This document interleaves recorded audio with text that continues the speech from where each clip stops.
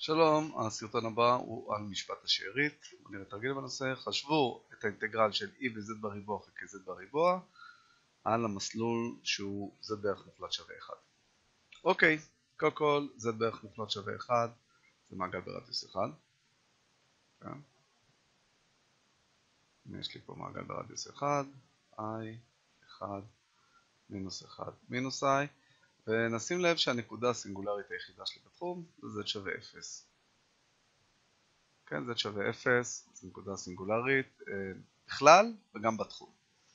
אה, e ו-z בריבוע היא כמובן פונקציה אנליטית בכל אה, נקודה.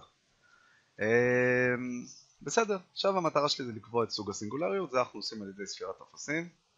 אז בואו נראה, יש לנו את z שווה 0, אנחנו רוצים למצוא את סוג הסינגולריות. Uh, עכשיו בואו נקרא ל-f ez בריבוע, נזכיר לכם היה לנו ez בריבוע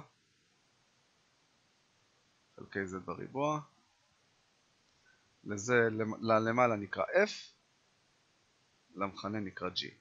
אני סופר לכל אחד מהם את ה-0 שלו. 0 uh, זה המקום הראשון שבו הפונקציה הנגזרת שלה היא לא מתאפסת בנקודה שאנחנו מדברים סביבה. אז נגיד f כבר ב-0 היא לא 0, יוצא 1. זה 0, זה 0 מסדר 0.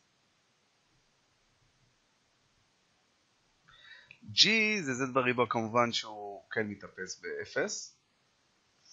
אה, g תג זה גם מתאפס ב-0, זה שתי z, כן, g תג 0 זה שתי z, שימו לב.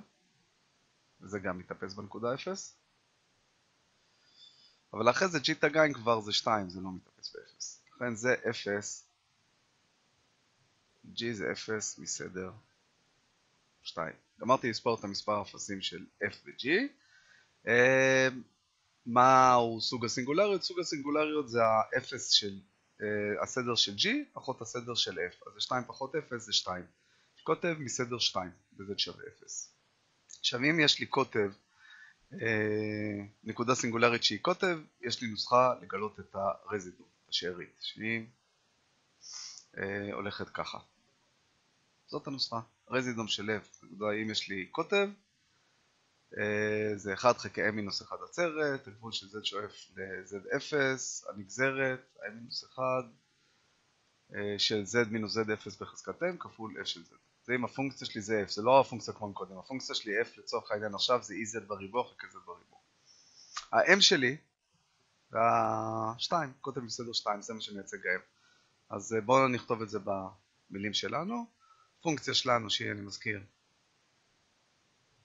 ez בריבוע חלקי z בריבוע, הרזידום שלה, בגלל שזה קוטב מסדר 2, זה 1 חלקי 1 עצרת שזה 1 אגב, הגבול של z שואף ל-0, הנגזרת הראשונה של z מינוס z0 זה בנקודה 0, כן? אז זה z m בריבוע, אז זה z בריבוע, כי m זה 2, וכפול f. עכשיו, כאן z בריבוע ו-z בריבוע מצטמצמים. נגזרת ראשונה של ez בריבוע זה 2z ez בריבוע. צריך לראות מה הגבול של z שואף ל-0, אז זה 0 כפול e בחזקת 0, שזה, כמו שכתבתי פה, 0. אז הרזידום יצא לי 0, ואיך אנחנו גומרים ממשפט השארית את העניין? אז לפי משפט השארית, האינטגרל שלי יהיה שווה לשתי פאי i כפול אה, סכום השאריות שלי, שאצלנו זה רק שארית בנקודה אחת שזה 0. זה שתי פאי i כפול 0, שזה שווה 0, ואנחנו סיימנו.